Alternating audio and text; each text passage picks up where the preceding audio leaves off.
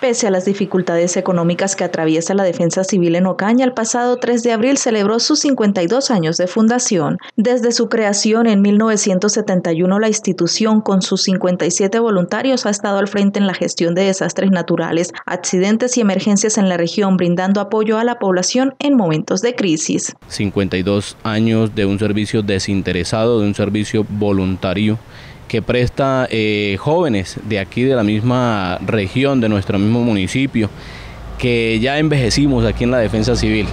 Queremos pues resaltar ese trabajo de nuestros eh, dirigentes que tuvimos aquí en la, en la defensa civil, como el señor Valmiro Vergel, Wilder Alonso Vaca Machado, eh, Luis Carlos Torrado Vaca, personas que dirigieron esta institución. hoy en este momento pues estoy yo al frente de la institución viviendo momentos difíciles, eh, porque todo ha cambiado, todo se ha tornado diferente, pero con la misma voluntad de servicio y con, el, con esa misma vocación que tenemos nosotros de servirle a la comunidad ocañera. Asegura que a pesar de tener muy pocas ayudas a nivel departamental y municipal, siempre han brindado una respuesta rápida y eficaz ante cualquier situación de emergencia.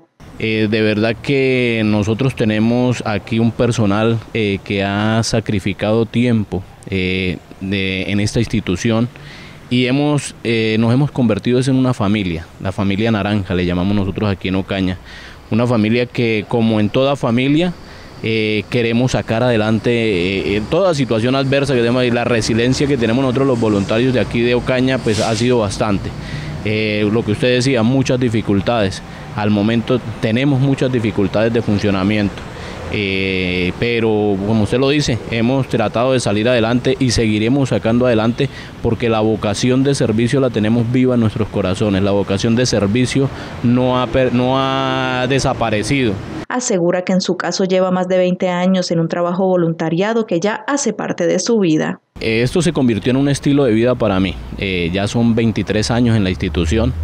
Eh, dedicados a esto. Aquí, digo yo, forjé mi familia, eh, de aquí salió mi esposa, salimos de acá, eh, nos conocimos, nos casamos, mis hijas son voluntarias, civilitas que están aquí enmarcadas en, este, en esta trayectoria del servicio y de la vocación de servicio en Ocaña. La Defensa Civil de Ocaña también trabaja en estrecha colaboración con otras organizaciones locales y nacionales, incluyendo el Cuerpo de Bomberos, la Policía y el gobierno local.